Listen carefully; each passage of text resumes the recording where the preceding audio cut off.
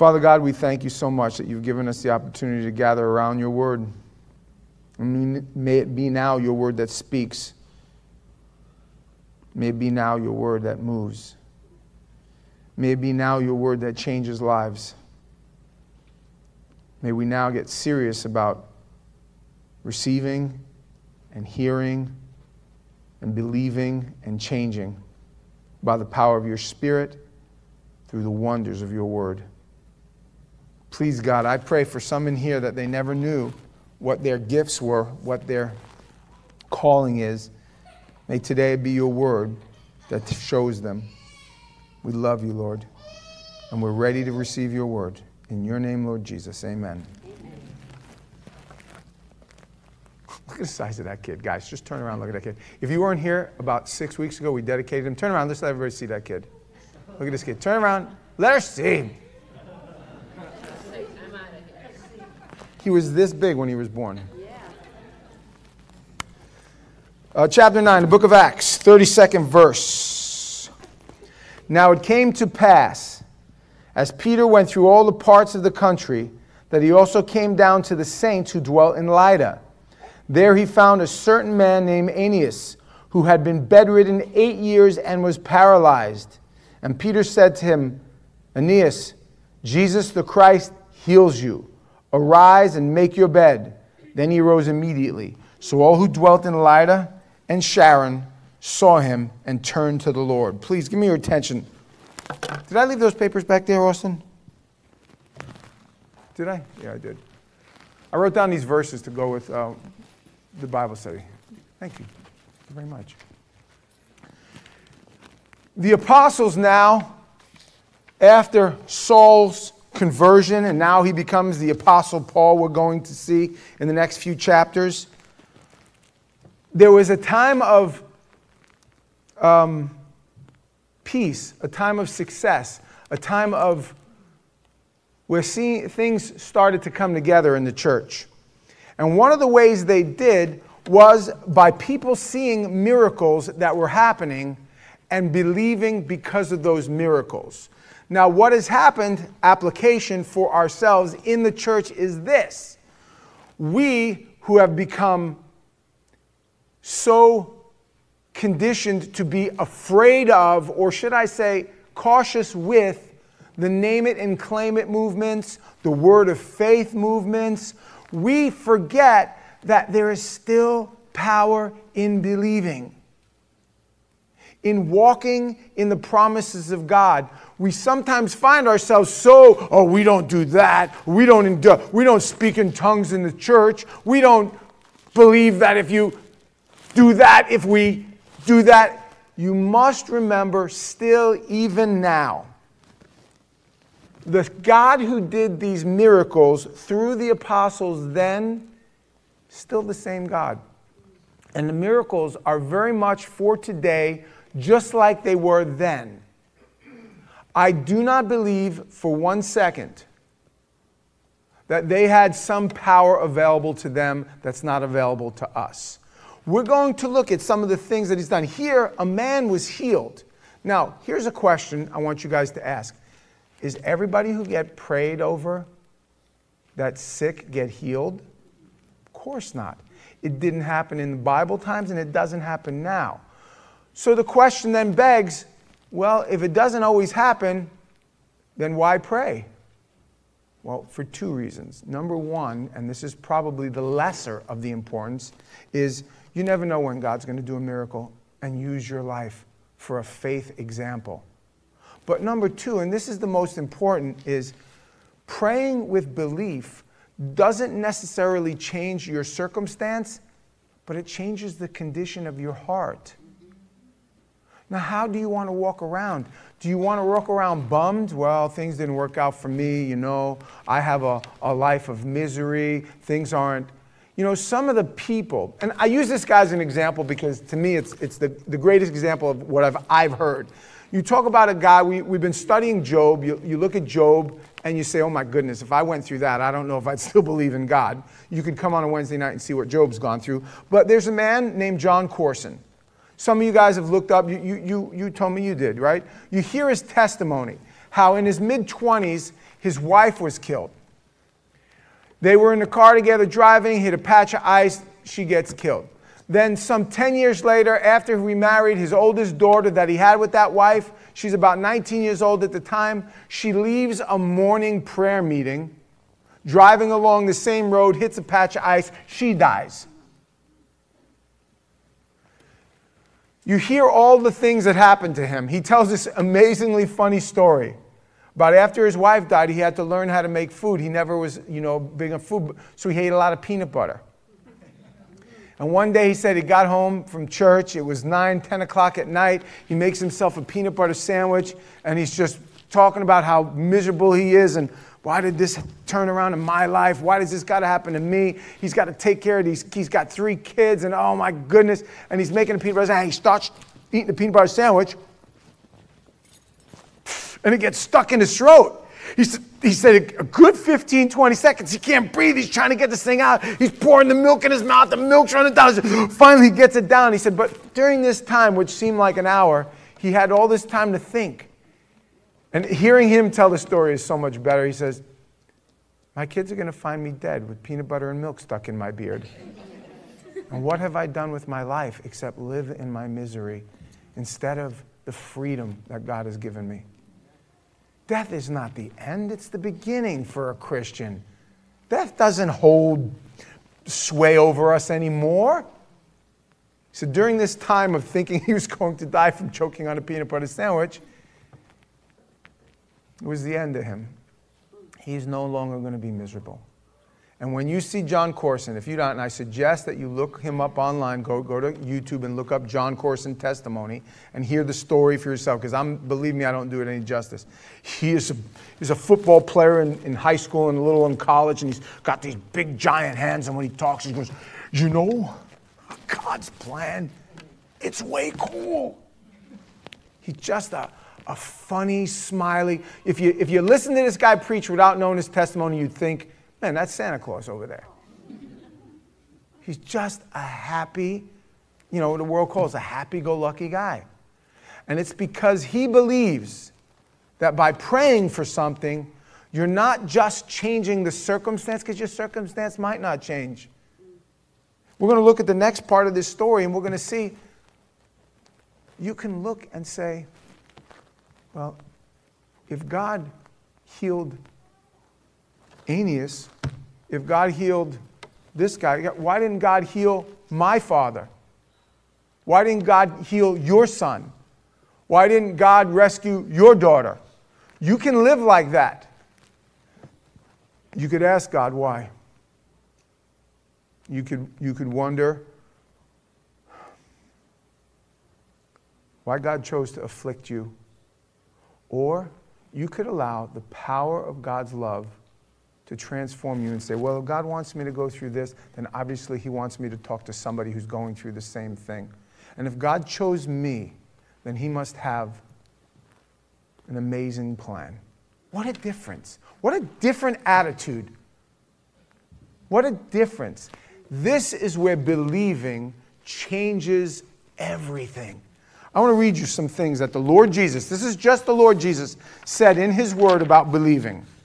In Matthew 9 28, he said, And when he had come into the house, the blind man came to him. And Jesus said to him, Do you believe that I am able to do this?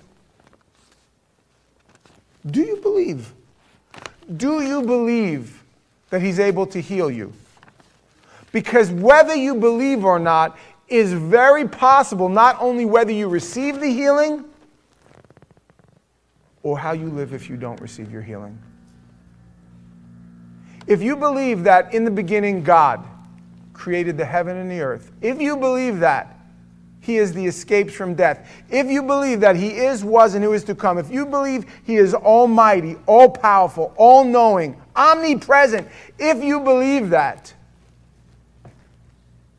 your fear will subside, your anxieties will lessen, and nothing will stop you.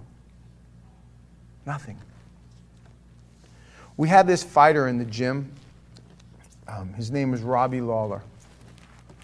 Robbie Lawler started MMA at a very young age. He was one of these guys um, before the um, the rise of, of MMA, he was just a heart, ah, just a monster of a fighter. Well, as MMA developed, it kind of developed without him, and he lost a bunch of fights. He got submitted by good jiu-jitsu guys. He got knocked out by a better striker. And his career was basically over. I mean, everybody knew he was a, a has-been. Now, when I met him, believer, strong in the Lord, when he found out I was a pastor, he, he bro, pray with me.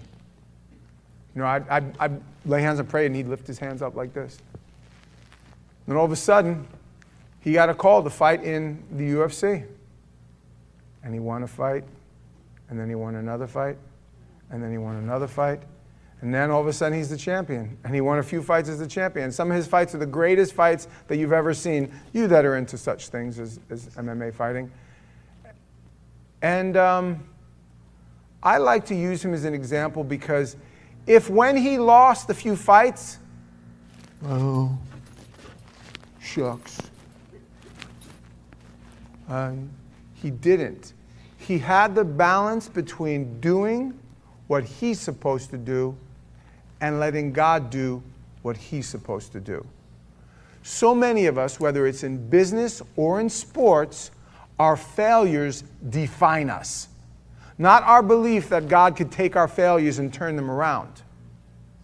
Not our belief that it doesn't matter whether I lost five fights in a row, I believe that God's plan for me, according to Scripture, is to give me a future and a hope.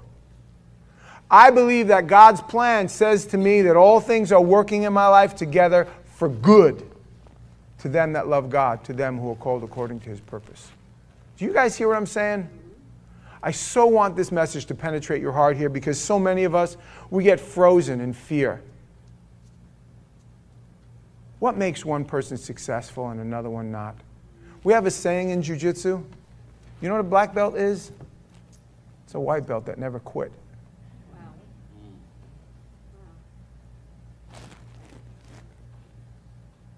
You can let fear run your life. Or, again, verse 12 of John chapter 3, the Lord Jesus said, If I have told you earthly things and you do not believe, how will you believe if I tell you heavenly things? He's saying, I'm telling you that I rule over earth and heaven. Why fear you? Why do you fear about health and money? And why? Don't you understand? I've got it all. Why are some men rich? Why are they lucky? Why do they have this privilege? Why does this faith to believe this opportunity for success, whether it's success driving a big car or living in a little house. The success is not external, it's internal. And I'll tell you how I know that. If you've ever gone on a mission trip, short term or long term, if you've ever been in a third world country, I went to, uh, as a matter of fact, me and Kevin went with his brother to, to Rio de Janeiro. And while I was in Rio, by the way, I drank more acai than humans are supposed to drink. Not good. It was good though, wasn't it? A friend of mine I saw while I was there that I know from here. Oh, Ryan, I did not know you were in Rio. Come on, you come with me. I was like, oh man, I got a, we got a training. No, one hour. Now listen to me. I am not a prejudiced man. But if a Brazilian tells you one hour, do not believe him. He might not be lying, but he certainly ain't telling the truth. So he, we get in a cab, we drive about 45 minutes, and the cab stops. And, and my friend, he looks at me goes, Okay, we get out now. Oh, is this where the gym is? We were going to this very famous boxing gym in Rio. There's a guy named Claudio Coelho. So we're going to him. So we get out of the cab. It's me, um, Rafael Suncio and um, Jucao, his name is, Juan Canero. We get out of the car and we start to walk, and I go, Where's gym? He goes, Oh, it's about a mile that way. He goes, Well, why? Why did we get out here? He goes, Well, they won't go there. I said, Why that? He goes, That's the favela. I said, What's a favela? He goes, In English, it's called ghetto. But it's a little different here. So we're walking up this hill, and you see mounds of garbage. You see tin shack, literally walls made of, of pieces of wood that are rotting with just metal over the top of them. Their lights, some of their lights, I mean, I'm telling you, they look like somebody hooked them into the, the, the pole, and it was like a string hanging down with a light on it. And I'm walking, I'm like, man, these, these people is dirt poor. And I thought I knew what, like, I need to stop complaining. You know what I mean? But let me tell you what I saw. I saw kids running around having fun with old bicycle tires. I saw them throwing rocks and sticks and and you know they didn't know how unhappy they were supposed to be by not having what they thought they needed. And it's not like they didn't have a TV. And this crazy thing though is so funny you had some of these tin shacks that yet there was a Cadillac parked out, a couple of them. You know, it's like, they got a Cadillac, but you know, they don't have a house. And every one of them had a smartphone and Facebook, that's for sure. And we go up in this building and we train and we work out. And then when we go outside the other side of the building, there's two armed guards on the other side of the building. And I said, I said, Shuka, what's this? He goes, that side's favela. This is the richest part of Rio. You go in one side of the building, you go up and you train, and then if you go out though, you have to be, they will let you out because you can't go in the other side. But one side is like one of the wealthiest areas, and the other side,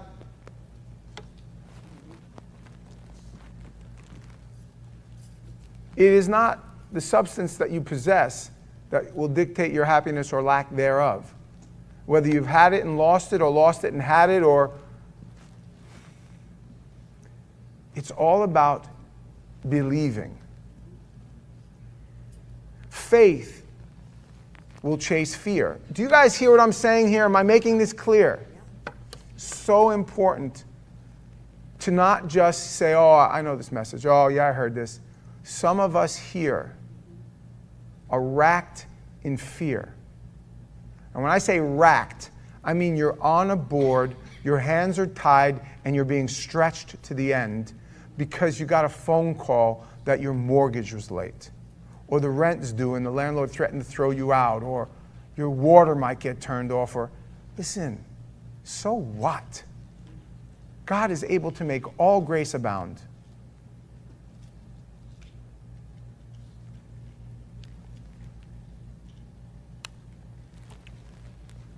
You're going to die. Eventually, you're going to die the walk of shame for Tony and Angela now. Here it comes. Oh, he's going to send her. Your child. I told you that your kid. Look at what your kid's doing now.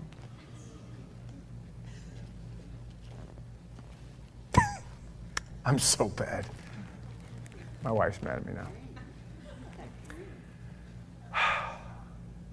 We can't. You can't. Do you love God? Then let God do it. But you don't understand. I go to bed and I, I, wake up. You're right, I don't understand, but God understands. Allow the faith in God to erase the fear of lack of God. Listen, I ain't even started yet. Listen to this. But if you do not believe his writings, how you believe my words? Faith comes by hearing, hearing by the word of God. If you're having a faith problem, where do you find faith, guys? The word of God.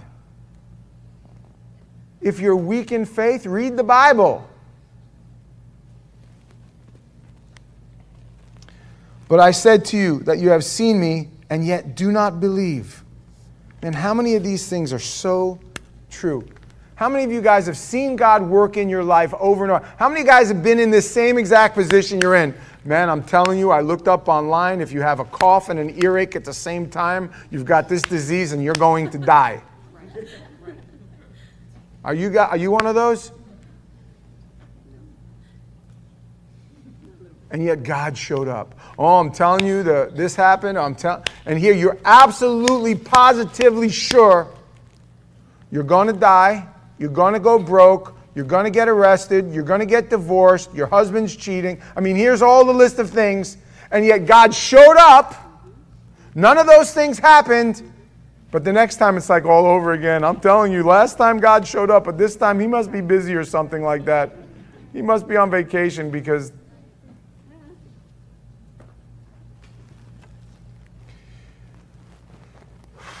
But there are some of you who do not believe.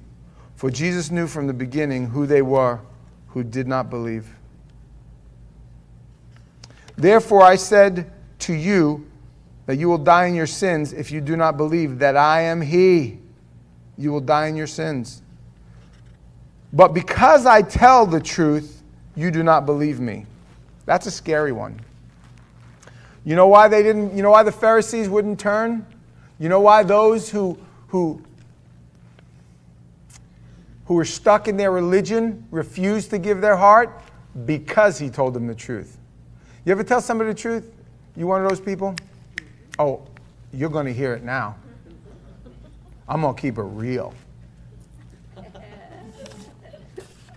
It's funny how when you do that, nobody listens to you after that. Everything you say after that, they just they don't listen. so funny. If you tell somebody the truth in love and mercy, they might actually hear you. Like he did, not like I do. And I tell you the truth, so why do you not believe me? Jesus heard that they had cast him out, speaking of the man who he healed, and he said to him, Do you believe in the Son of God?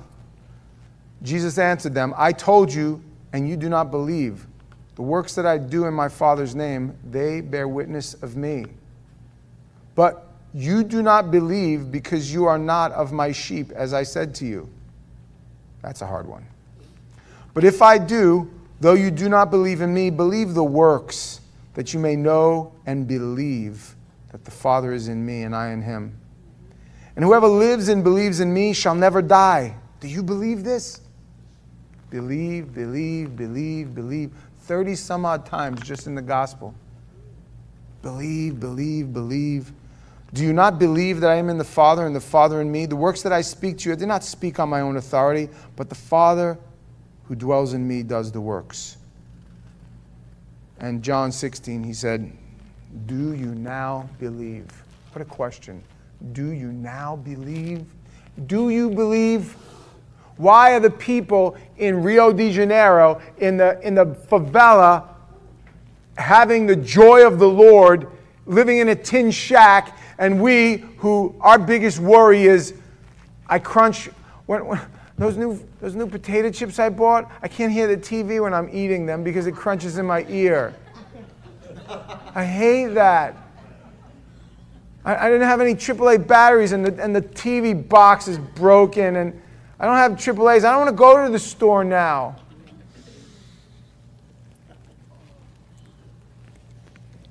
Back to Acts 9. At Joppa, Is that where I left off? There was a certain disciple named Tabitha or Tabitha, however you want to pronounce it, which is translated Dorcas. No wonder they called it Tabitha.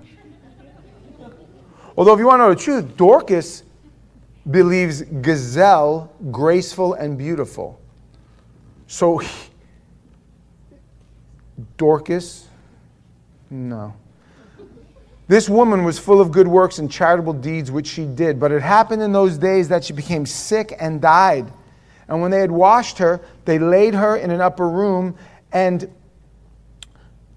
since Lydda was near Joppa, and the disciples had heard that Peter was there, they sent two men to him, imploring him not to delay in coming to them. Now, just so you guys know, Lydda and Joppa were about eight miles away. Now, what if somebody came to you and said, Hey, can you come walk to my town? What if somebody in West Palm said, hey, can you just come here and pray over me? Well, where are you at? Well, I'm in, um, I'm in, um, uh, let's think of one, off of Linton. It's about eight miles away. Yeah, I'm, I'll just, I'll, no problem, I'm on my way. Then Peter arose and went with them. When he had come, they um, brought him to the upper room, and all the widows stood by him weeping, showing the tunics and garments which Dorcas had made while she was with them. But Peter put them all out and knelt down and prayed. And turning to the body, he said, Tabitha or Tabitha, arise. And she opened her eyes, and when she saw Peter, she sat up. And when he gave her his hand and lifted her up, and when he had called the saints and widows, he presented her alive and became known throughout all Joppa. And many believed on the Lord. So it was, he stayed many days in Joppa with Simon the tanner. Okay, I, I glossed over that quickly, but this is called raising somebody from the dead. This is what they call the gift of miracles. It's like, wow, that just happened. But there's an interesting thing here that happened. Does anybody remember a little girl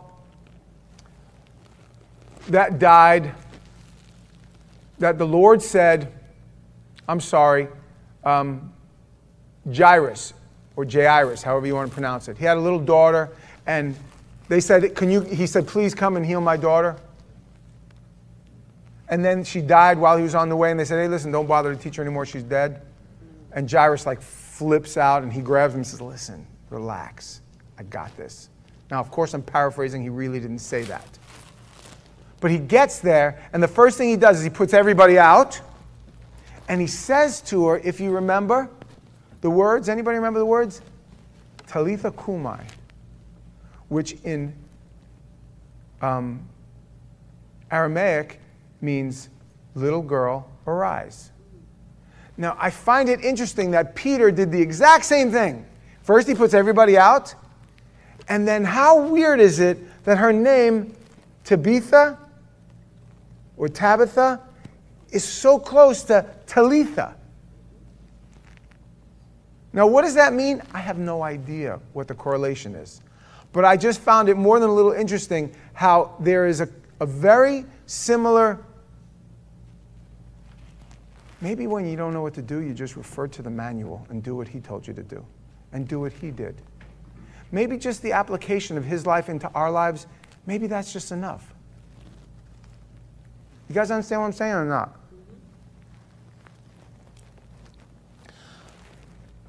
The latter part, I would like to go to chapter 10, but 10 we have to cover the whole thing, and it's a long chapter, and it's a really, really important chapter. So, what I want to do is spend the last five or 10 minutes talking about something that we see here in Scripture.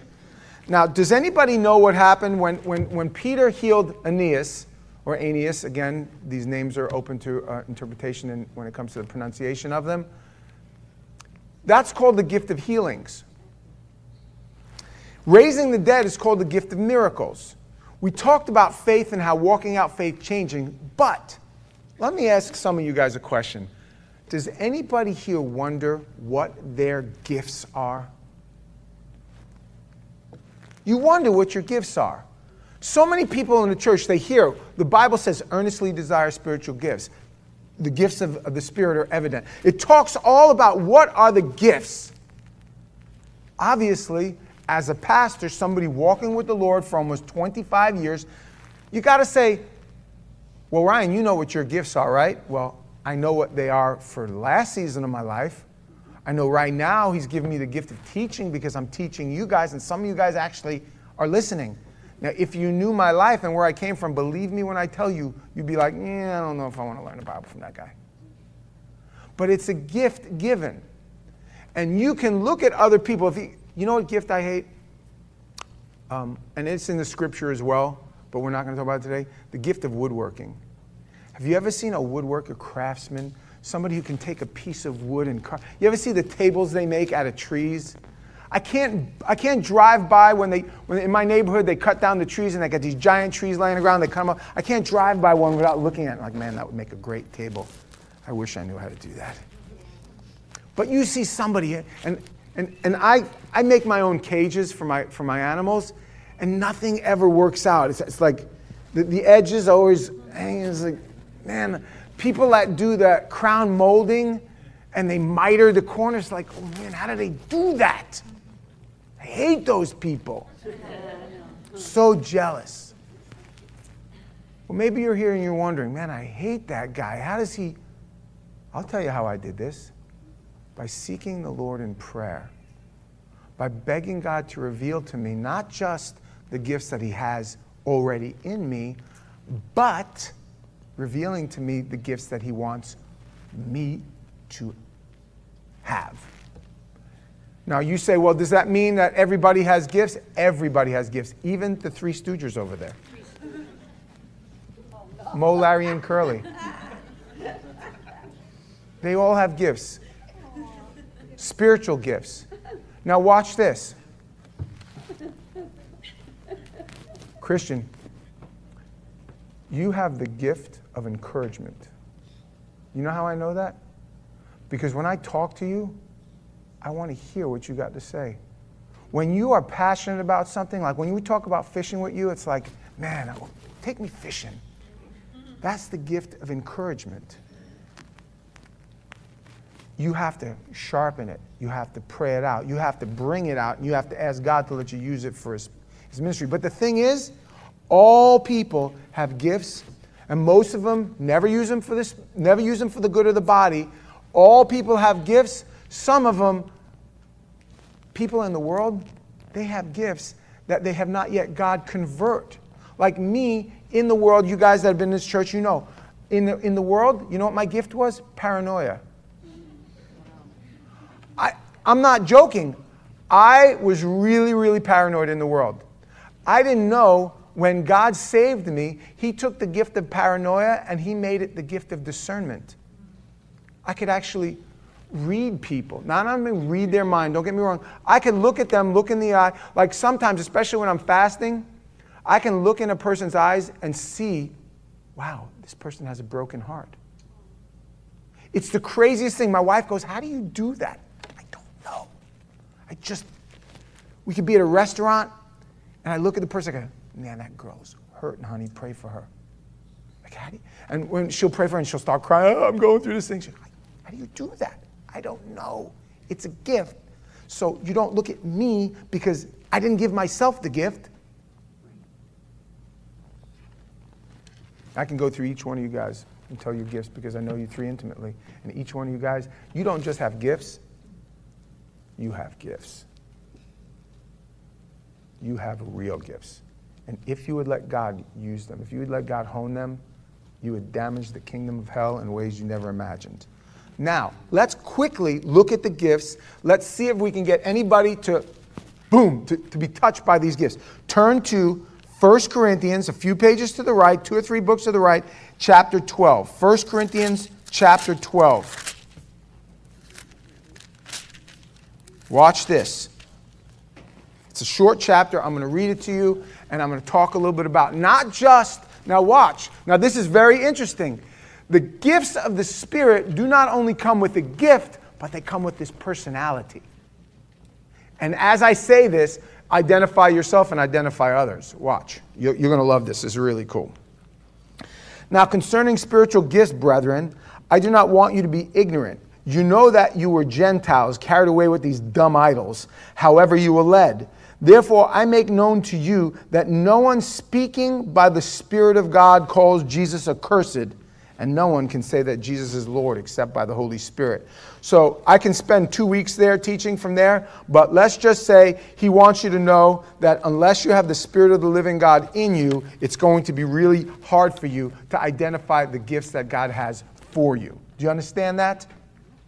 You can't just go to church on Sunday, maybe even go to church on Wednesday, and, and think that you're going to experience the fullness of the spiritual gift.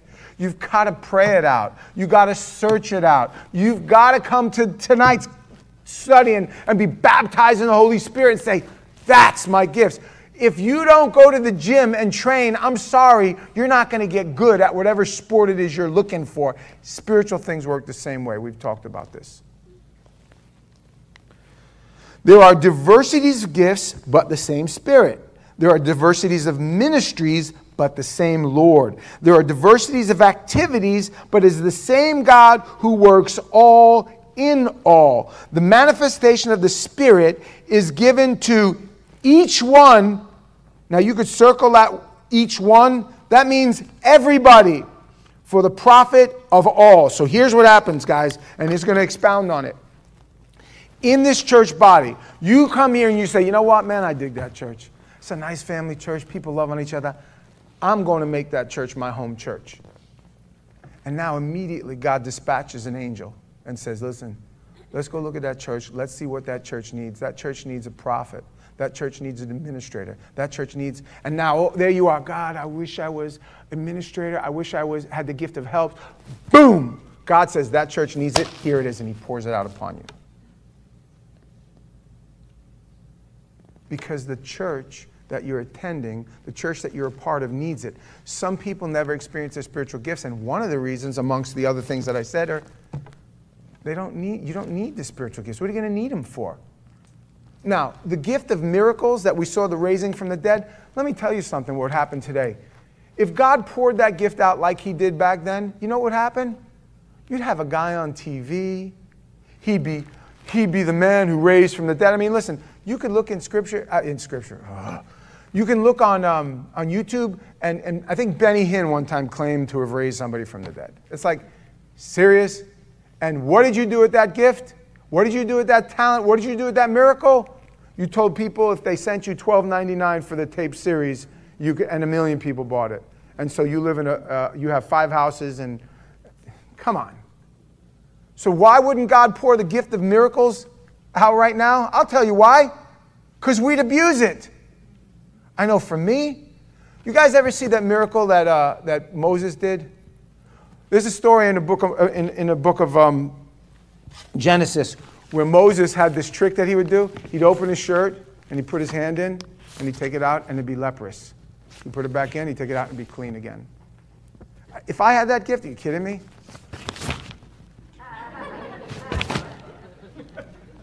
No wonder he doesn't give me that gift. I totally abuse. I'd be at the gym or something like that. Ah, ah, ah, ah! It'd be over. It'd be, I'd, be, I'd abuse it in a second.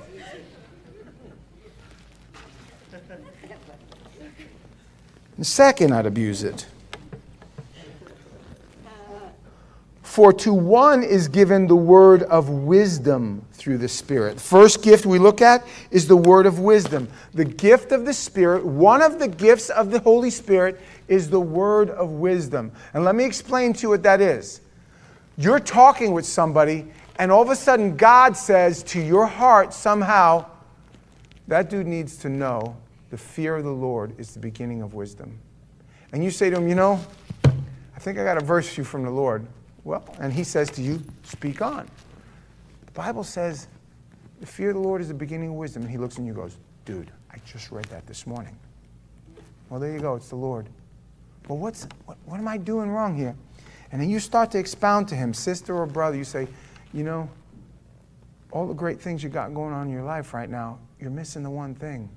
And that's that real relationship with the Lord. If things are tough out in the world, that's because every time you, things are going good for you, you forget about God. And every time things are going bad for you, you remember who God is. And they receive it and they go, Man, I needed to hear that. And you walk away and you go, I don't know how I did that.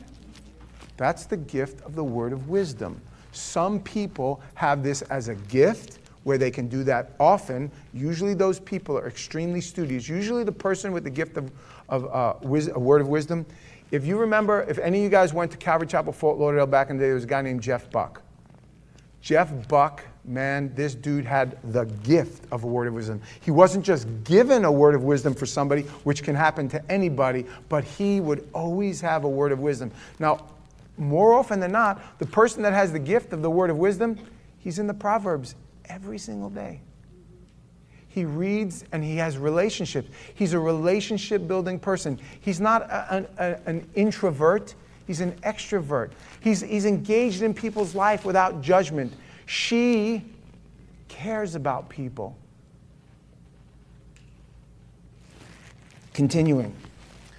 To another, a word of knowledge through the same Spirit. A word of knowledge. That gift, the word of knowledge, is when God tells you something about somebody that they didn't know you know. Now, quite often I'll be preaching and somebody will walk up to me and go, My wife called you before the service, didn't she? And I go, Come on, Really? No. There's no way you could have known the things. Because when you were preaching, you were preaching right at me. Well, Diana called me up. She told me all this stuff going on in Kevin's life, and that's why I'm preaching this stuff now. No. Didn't know anything. God gave me a word of knowledge through Scripture that I'm now pouring out upon you. You're sitting here, your heart is burning right now. Why is he talking about me? What? You told him? Now you can do the same thing. God will give you a word of knowledge. But let me tell you what happens with the word of knowledge. Word of knowledge must be followed by James 3:17.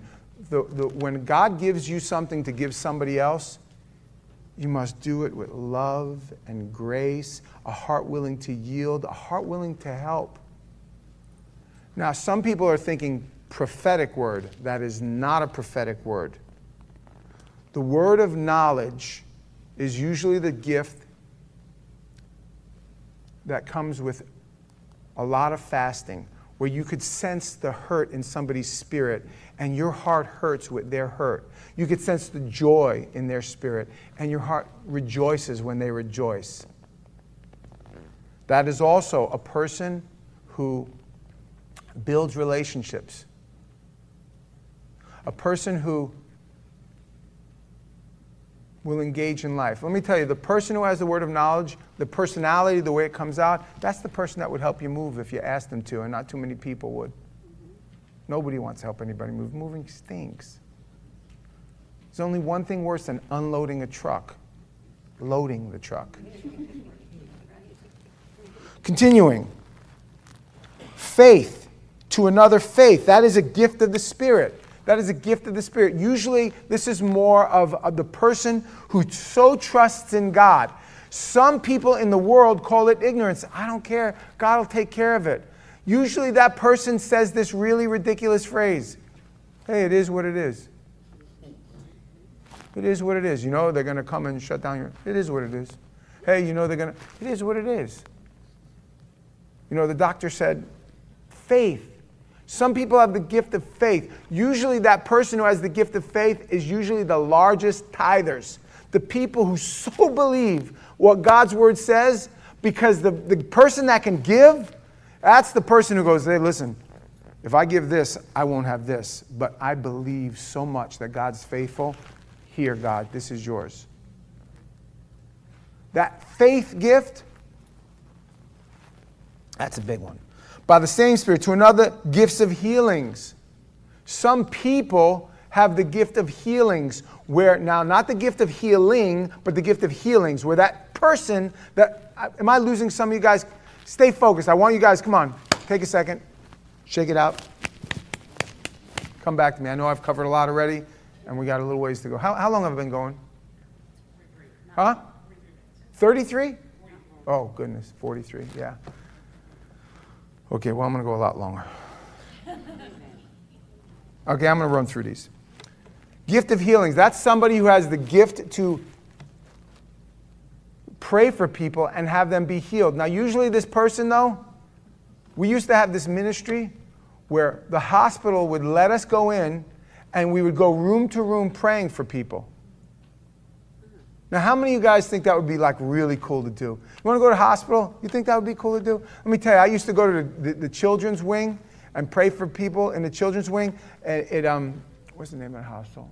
Uh, Joe DiMaggio. In, in, and you go to the kids that have cancer and you go from room to room. And yeah, I wasn't cut out for that.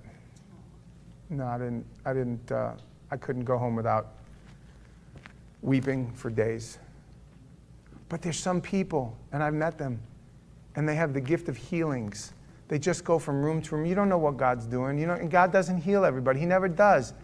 But sometimes you see people like cancer free, rose up from the bed. You're like, wow.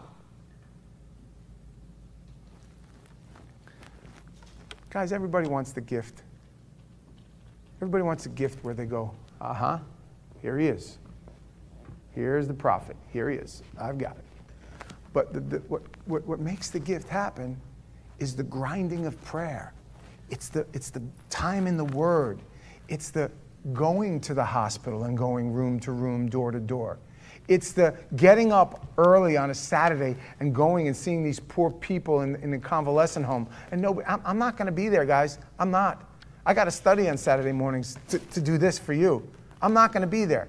So, you who go to the convalescent home, yes, that's the gift of helps, the gift of compassion, the gift of mercy. Continuing.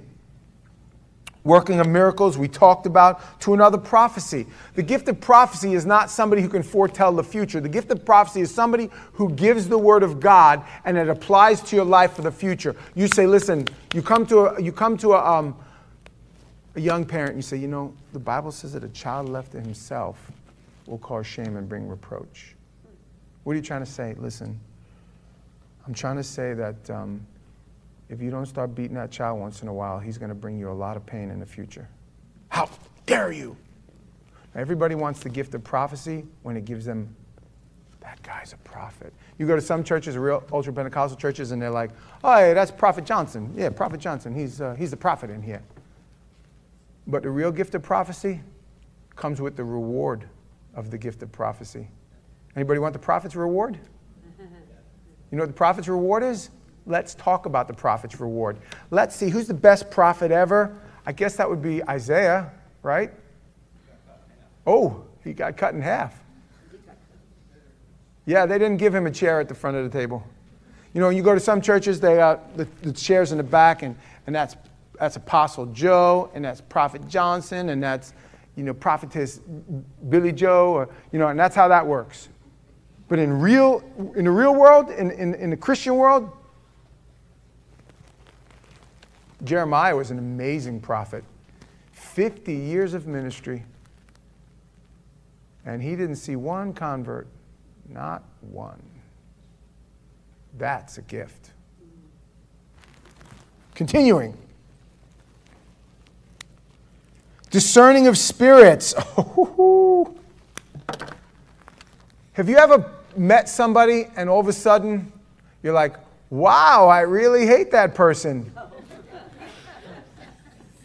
They, what, they didn't do nothing to you. Nah, there's something about that person. I just hate them. Dude, what are you, what are you talking about, man? We just, we just had one conversation. There's something about them I don't like. As a matter of fact, I want to smash them. Dude, that's, a, that's rough. Usually, that's the person that doesn't even know it. They have the, the gift of discernment spirits. There's something about that person that's either ungodly, unholy, it might even be satanic, and you don't know what it is, but you're just around and you're like, yeah! Now, listen, that gift can be misconstrued because sometimes personalities clash, and that's just the way it is. But when you're praying in a circle, and whether you're in Rio de Janeiro, South Florida, or any place in between and around. The Spirit moves upon you when you're praying, and you sense the power of the Holy Spirit. It's the sweetest thing in the world. It's called fellowship. Boogie, you have the gift of fellowship, bro. Just hanging out with you is so much fun. It is. I don't even know what it is. I hardly even know you, man, but I know you. I love you. Just hanging out with you is good. I just want to be around you, bro. You have the gift of fellowship. It's a beautiful gift. Some people have that. Matt's got that gift too. I don't know what it is about you, big bear of a man. I love you. Honey, I'm not going there. You have every gift. I love your gifts. They're beautiful. You have the gift of beauty. Matter of fact, look at those three prophetesses back there.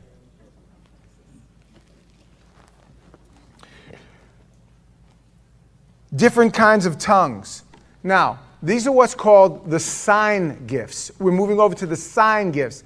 The gift of speaking in tongues. If you've never heard anybody speak in tongues, come out tonight, maybe somebody will speak in tongues, I don't know. But it kind of doesn't have anything that you would think it has. Sometimes it sounds like stammering of lips according to scripture, but sometimes it's just a song. Sometimes it's what's called other tongues where you speak in a different language and didn't even know you could speak that language. Sometimes it's an uttering, muttering of an umbrella upon somebody.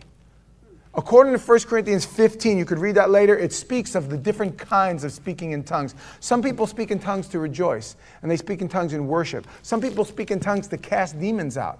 Some people speak in tongues for a prophetic word. There's so many different kinds of tongues, or what the Bible calls other tongues. Those are sign gifts. There are gifts that bring attention to the person. And again, reading scripture, you could see some gifts were meant to edify the body, some meant to edify the church, some meant to edify the people. Each, each gift has a different reason. I'm going to breeze through these. I know we're going. Um, read the rest of that for, for homework. I'm going really much longer than I planned on going. Turn, if you would please, to Romans, I'm sorry, Hebrews chapter 12. All the way to the right, about eight, about eight books. Hebrews chapter 12, the last of these gifts.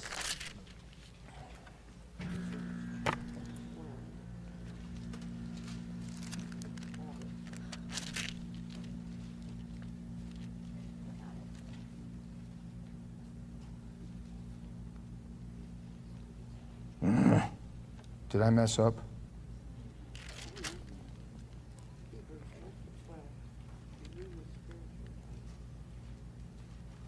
Stay with me. It was dark when I was writing this down.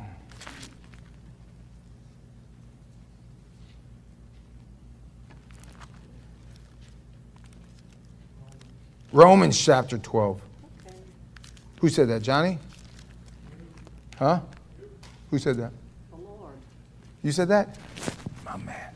Romans chapter 12. How did I write down Hebrews? Doesn't matter. Romans chapter 12. All the way back to the left.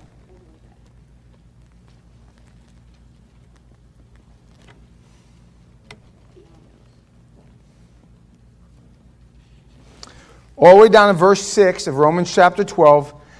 Everybody there say amen, please? All the way in the other side of the Bible, New Testament, all the way in the back. So you better off going to book of Revelation and turning back a few pages, everybody? Everybody's there? Okay. Chapter 12, a book of Romans, having then gifts differing according to the grace that is given to us, let us use them. Let us use them. Now, the original language in, in, in, the, in the Greek, that is what's called a double imperative. It means when he says, let us use them, he's saying, use it, do it.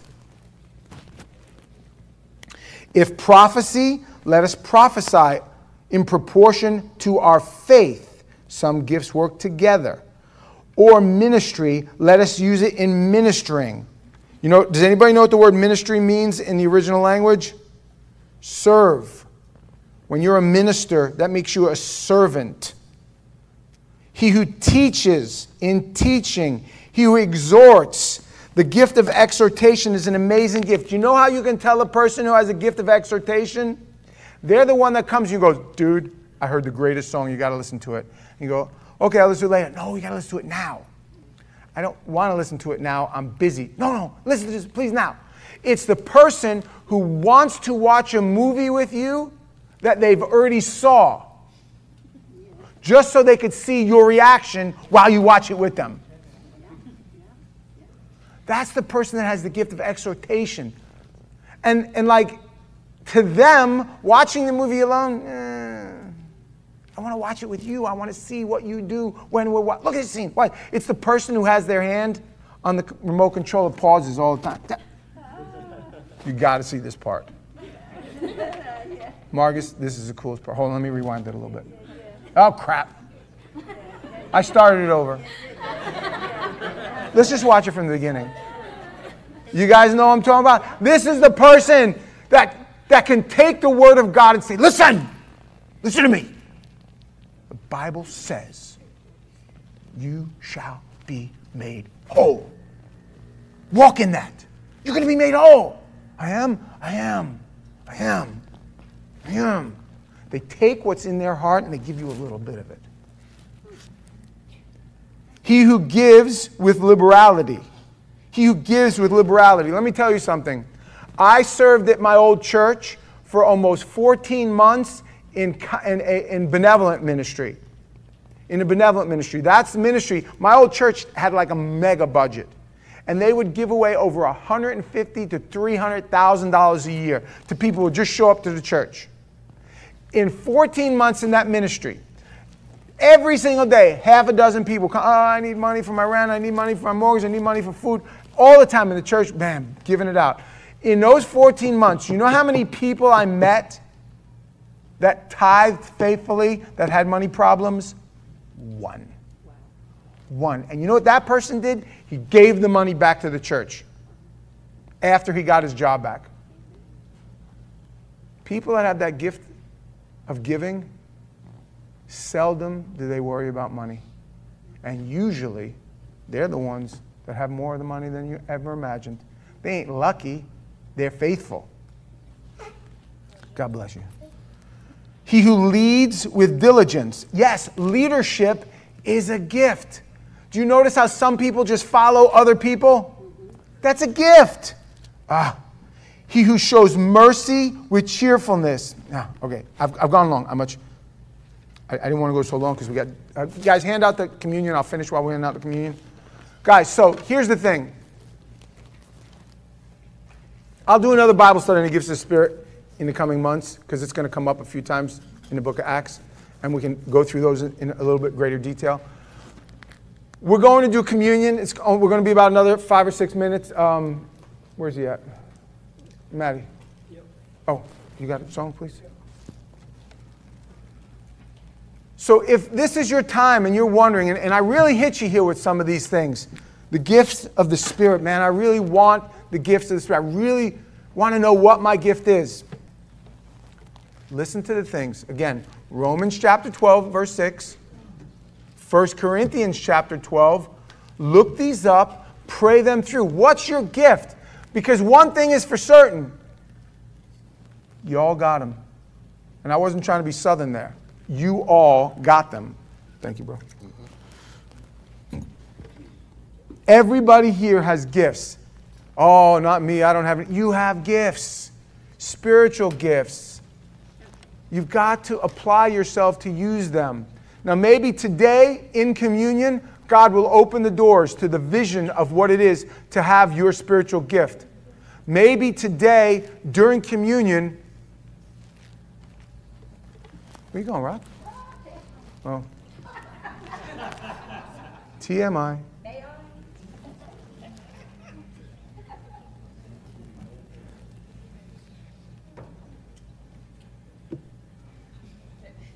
So here's what we want. When you get their communion elements, hold them in your hands. Spend a minute in prayer and ask God, God, what are my gifts? And remember a few things, okay? Remember a few things before you hit this. Number one, you're never going to get your spiritual gifts to the fullest place without getting serious about your relationship with the Lord you're certainly never going to get your gifts to the place where you want them to be without your dedication to a church. God wants to use you. But it's like, did anybody ever see the, uh, what's that movie called with the uh, mutants, Bubba? The X Men movies. And some of these mutants, they were like, what, what do they call them? Like six tier? What are they called? Omega level. Omega level? What was the other ones though? What was that girl that had the thing going on her face? Huh? But what, what, what was her? She's like a level five or something like that? Is that what it's called? Phoenix?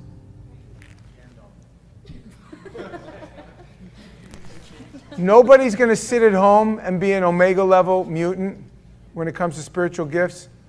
You got to get out and use them. You got to get out and use them. The only reason Jean Grey had all those gifts, she was using them, man. That's it. See what I did there?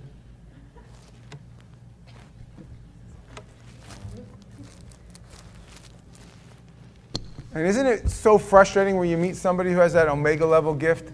Man, they can do anything. Mickey can do anything. And when I say anything, I mean anything.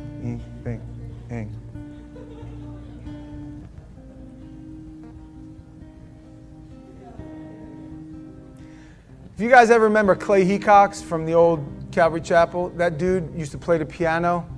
He could play like he could write the most amazing worship music. He could play the piano like Beethoven. I mean, it was the craziest thing. And then you found out on the side, he made custom furniture.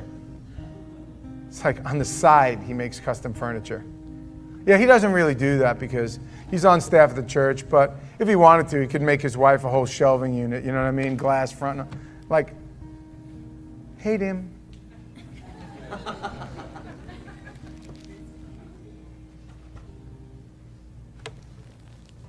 and in all, um, in all honesty, are, is it done? Are we done?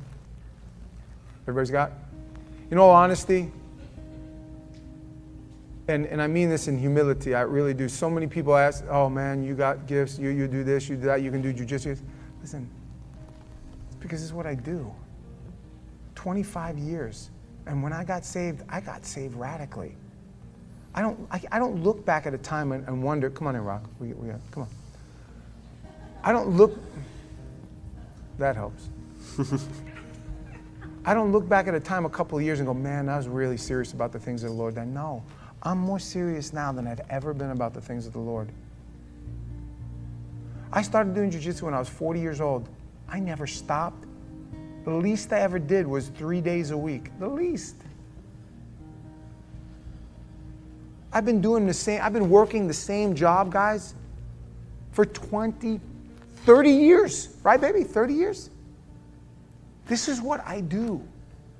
So if you ask yourself, why aren't my gifts being used to the fullest? Why aren't they being revealed to me? Well, let me ask you about your consistency and your steadfastness. Do you want spiritual gifts? Put yourself in a position A, to have them exercised, B, to have them used, and have the faith enough to not be afraid. Start somewhere crazy.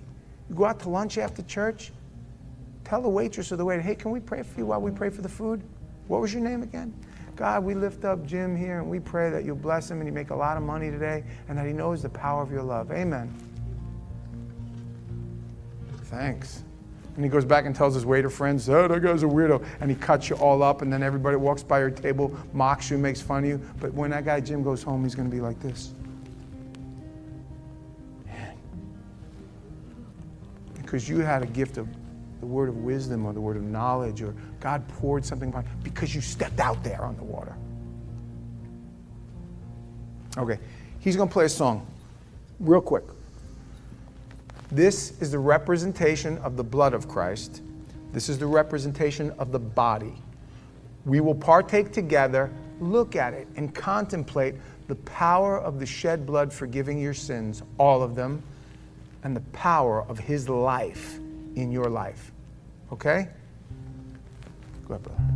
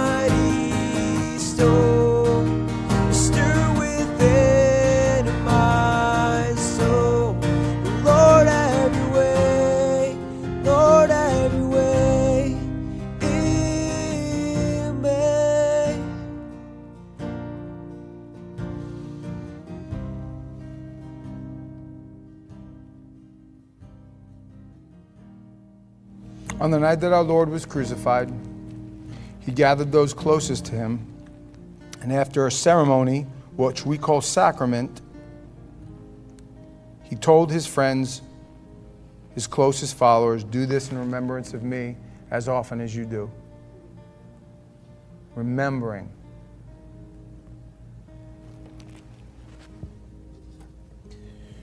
My morning devotion this morning, I'm in the book of Revelation, and I read a verse, and I just, I was so blown away by it. I just wanted to sit there. I wanted to teach this.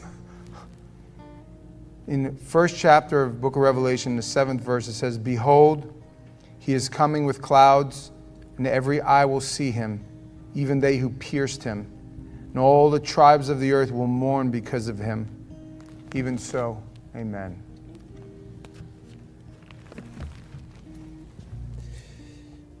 When he comes back, I'm on his team. And I want to be found doing his will and his way.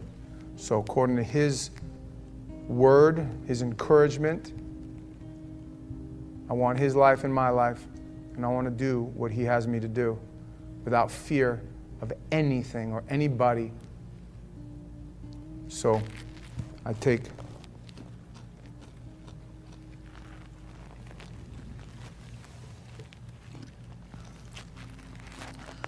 But I also know that without the shed blood, there's no forgiveness of sins. And without the new covenant, there's no power to accomplish that which I want to accomplish.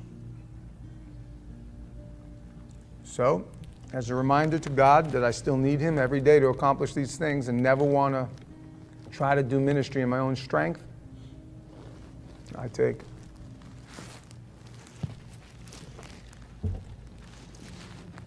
And with faith to believe that whatever God does, I'll get through it. I'll get through it. You'll get through it. God's going to prove that everything that's happened in your life somehow is going to turn out good. Amen? Amen. Amen. Have a great rest of your week.